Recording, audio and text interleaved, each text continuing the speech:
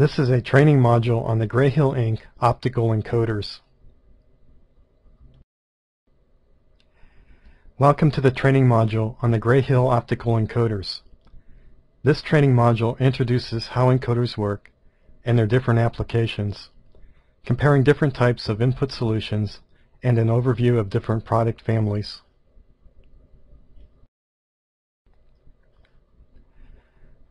The key components of an optical encoder are shown here. The shaft turns the code rotor, the LED emits infrared light, the photodetectors are special transistors that allow current to flow when the light from the LEDs is shining on them. The light from the LEDs is alternately blocked or allowed to pass to the photodetectors as the code rotor is turned. Two LED photodetector pairs are used. These produce the outputs A and B as shown. The alternating on-off state produces the output signal. An incremental encoder is called a quadrature because it repeats itself every four positions. The alternating on-off state produces the output signal. A microprocessor chip that reads a quadrature encoder can only determine the direction, clockwise or counterclockwise, and the amount of increments, number of detent positions, that the encoder shaft has been rotated. A microprocessor cannot determine the absolute rotational position of the shaft. In some cases, the customer's application will require that the encoder output a unique, non-repeating code for each incremental position the shaft is rotated. An incremental encoder will not work in this kind of application. The application requires an absolute encoder. The table shows how 16 unique output codes are created.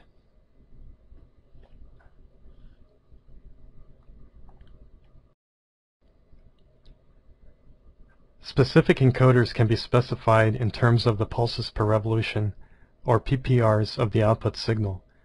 This is the number of quadrature state changes per 360 degree rotation of the code rotor Encoders can alternately be specified in terms of their cycles per revolution, or CPRs.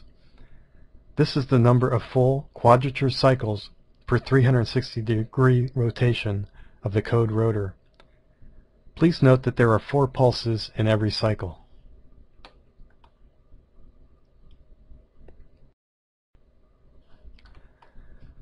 Common characteristics of the Grayhill optical encoders are very high life ratings, typically 1 million to 300 million cycles. This is because they do not use mechanical contacts that tend to wear out over time. They are also active devices that require a power source. This is typically 5 volts, but Grayhill can customize the operating voltage if required. The majority are available with standard connector and cable options. Customizations include shaft and bushing configurations, special detent or rotational feelings, customer-specified terminations, and special output codes.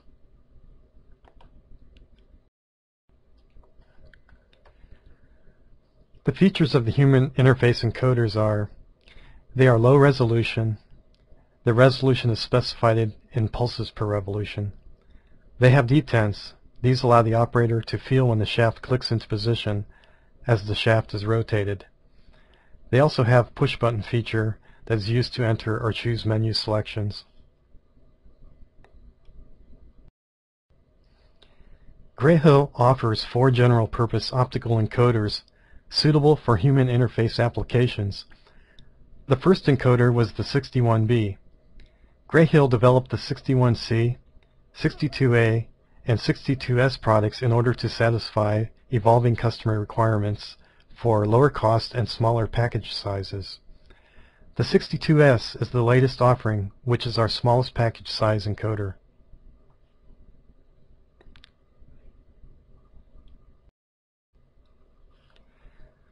Grayhill human interface encoders are used in many industries. For instance, they are used in medical devices such as ultrasound equipment, patient monitoring devices, defibrillators, and X-ray equipment.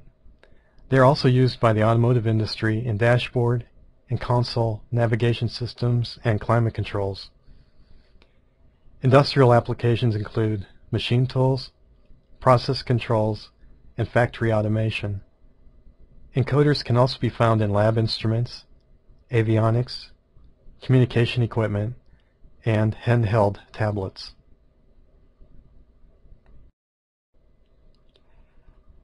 This page gives you advantages of human interface encoders.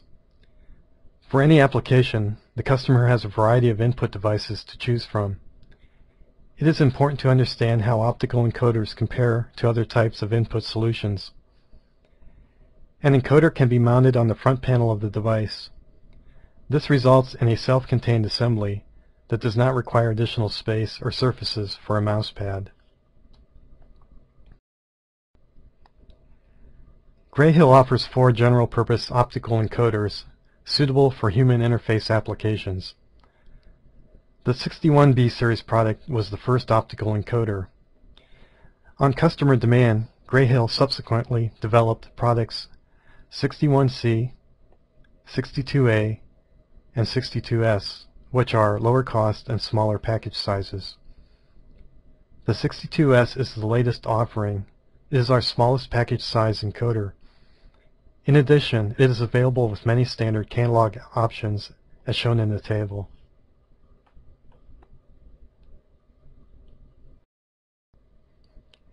Grayhill has also developed several encoders with special features for various applications. The 60A and 60C joystick encoders incorporate an 8-way mechanical joystick. This allows the customer to incorporate additional functionality into their product without using additional panel space. The 60C separates the push button and joystick from the encoder on the concentric shafts. Applications for these products include automotive climate controls and rear seat entertainment systems, avionic information management systems, and oven temperature and humidity controls. The Grayhill 62C is a concentric shaft encoder with a non-rotating inside shaft. This is required when the customer wants the push button feature to be a different shaft to prevent accidental actu actuation. The non-turn shaft also ensures that any legends printed on the knob stay in their proper orientation. Applications for these products include avionics and medical devices.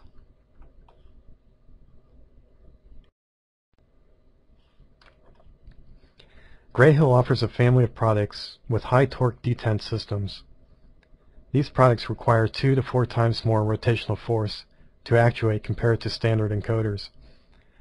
They are used by customers that desire an additional degree of security and tactile feedback. Typical applications include avionics or any application where the device is used by an operator wearing gloves. The 62B encoder has a pull to actuate feature in its shaft in addition to the typical push button feature. The pull to actuate shaft is almost impossible to actuate accidentally. A customer can use the product to incorporate push for off or pull for on or push to enter, pull to reset functionality into their equipment. This product is targeted to the avionics industry.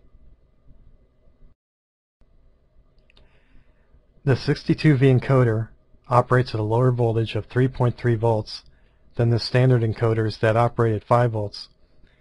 It consumes less power, which makes it ideal for battery-powered devices. The lower voltage also reduces risk in explosive environments. The 62F is an optical encoder with an LED and light pipe incorporated into the shaft. The 62F simplifies the customer's design when the knob is required to be illuminated. The customer does not have to worry about incorporating the lighting circuitry into their panel. The 62R is an optical encoder with a second set of backup circuitry. The encoder will still function in the unlikely case of a failure of the primary circuit. Originally designed for a helicopter ground avoidance system, this product is designed for ultra-critical applications like avionics. The 62P was introduced as a low-cost optical encoder to, to, compete against printed circuit board mounted mechanical encoders. It has the advantage of high life of 500,000 cycles and it does not require extra debounce circuitry.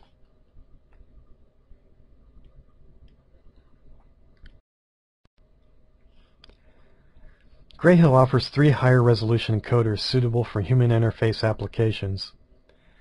These products are used where fine adjustment, greater accuracy, and a smooth continuous rotational feel is required. The original 61H and 61J products can be produced with resolutions up to 128 cycles per revolution. This is equivalent to 512 pulses per revolution. Previously, a maximum of 32 pulses per revolution were available. On market demand, 256 cycle per revolution products 61K and 61R encoders were developed.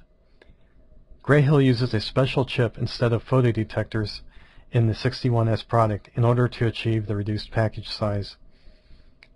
Applications for these products include electric welding machines, medical ventilators, test equipment, audio mixing consoles, and high-end audio amplifiers.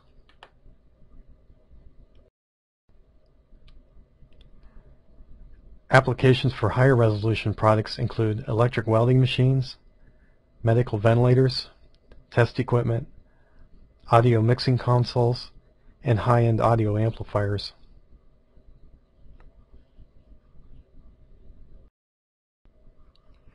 In a machine interface application, the encoder is used as a feedback device in a motion control system.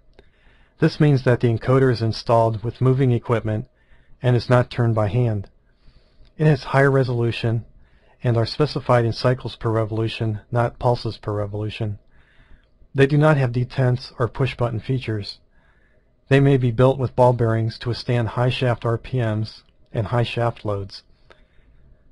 Typical machine interface applications include motor shafts, conveyor belts, machine tools, robots, factory automation, office printer copier mechanisms, antennas and telescopes elevators, printing equipment, and smart card fabricating equipment. Other machine interface applications require encoders that can withstand high shaft speeds and some level of shaft loading. Grayhill produced the 63K and 63R ball bearing encoders for these applications. Applications for the 63K and 63R include propane gas flow meters, bulk processing flow meters, fluid flow meters, automated vial samplers, and lift trucks.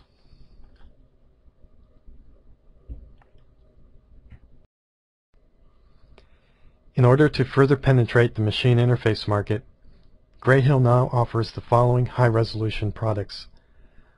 The 63A is a 256 CPR absolute encoder because this absolute encoder outputs 256 unique codes per each 360 degrees of rotation. It is suitable for applications where the absolute position of the encoder must be known when the device is powered up.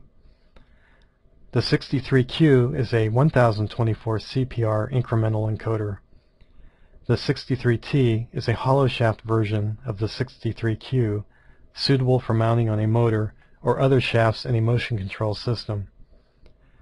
These products are used in applications such as motor shafts, conveyor belts, machine tools, robots, factory automation, office printer copier mechanisms, antennas and telescopes, elevators, printing equipment, and smart card fabricating equipment.